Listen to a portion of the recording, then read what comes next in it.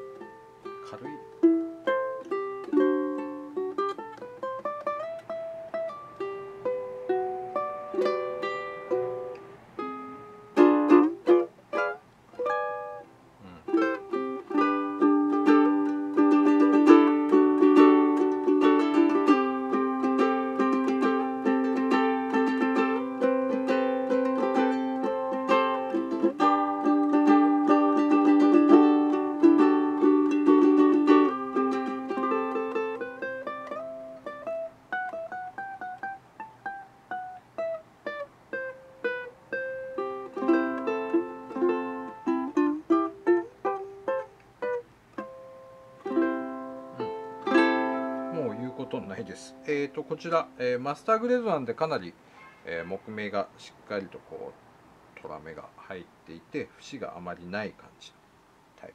サイドもものすごいですね。これはね、えーちょっとこうハニーブラウン的な茶色みが、えー薄茶色というか、えブラウンテイストが強い木目でございます、まあ、光の具合とかもあるんで、えーいろいろな角度でお楽しみいただけるタイプでございますよ。感じです。そんでもって、えーこうねヒールとかもこう細くてこう手が持ちやすかったりします。でこのエッジがこう結構角がエッジが立ってるとなんかこうちょっと違和感感じたりするんですけどファイリングはしっかりしている。そして、えーこちらはね旧モデルといってもつい最近ですね、えーヘッド落ちが全然ないタイプ、えーステルスペグなので非常に軽く、えーチューニングもできるし実際の持った感じのヘッド落ちがかなり、えーこれでなくなって軽減しているモデルでございます。